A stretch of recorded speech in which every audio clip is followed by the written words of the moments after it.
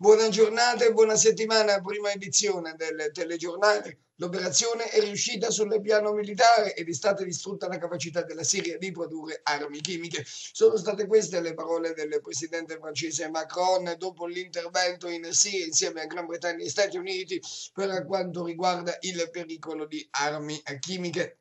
La Casa Bianca ha messo in evidenza che eh, le forze americane ritorneranno dalla Siria e il presidente si aspetta che i partner regionali e gli alleati degli Stati Uniti si assumano una maggiore responsabilità. Intanto ha parlato anche il dittatore siriano Assad, convinto che i missili occidentali non avranno altro effetto che unire il paese sotto la sua leadership.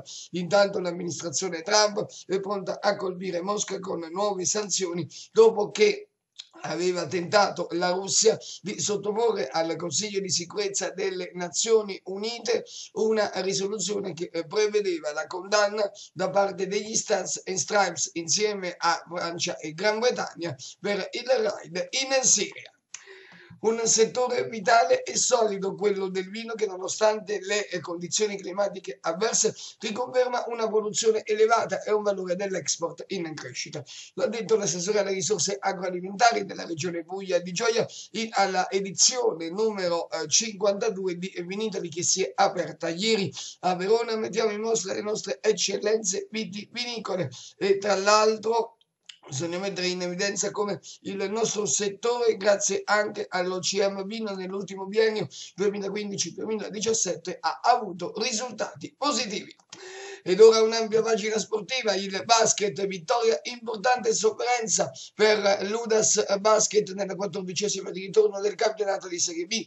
I biancazzurri di Agostino Origlio infatti hanno battuto con il punteggio di 66 a 64 la temibile Civitanova Marca. Gara spregiudicata dei padroni di casa sia in attacco che in difesa con un po' di sofferenza nella parte finale. Origlio si gode il momento e anche di aver centrato i play-out che si disputeranno contro eh, Fabriano che è stata sconfitta in trasferta dall'Amaturi Pescara.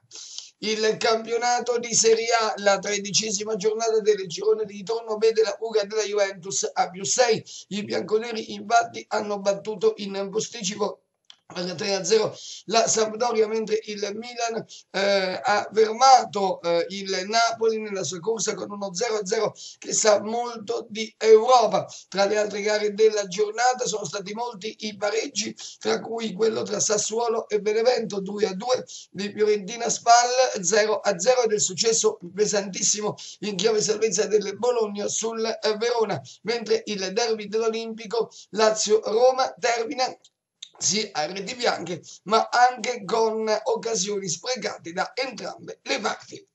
In chiusura, le previsioni del tempo per oggi al nord nuvolosità irregolare con piogge e rovesci intermittenza, al centro di Sardegna irregolarmente nuvoloso con locali piovaschi più frequenti nelle ore centrali della giornata, al sud e sulla Sicilia qualche isolata pioggia al mattino, ma per il resto aperture soleggiate anche ampie le temperature al nord tra 17 e 20 gradi, centro e Sardegna 16-18 gradi, sud e Sicilia 16 e 19 gradi. È tutto per questa prima edizione del telegiornale, grazie per averci seguito, prossimo appuntamento alle 14 con Lunedì Sport. A più tardi.